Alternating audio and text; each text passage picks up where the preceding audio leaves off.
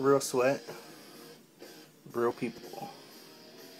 Just did some body beast back and biceps, and this was um, definitely a better workout than last time that I did. Um, uh, last time my biceps didn't really get all that sore, and so what I did was I just uh, went up um, some of the weight and um, really pushed myself because um, you know if it's not getting sore then it's not really um, tearing that muscle and getting it um, built up. But um, but this time I really did it.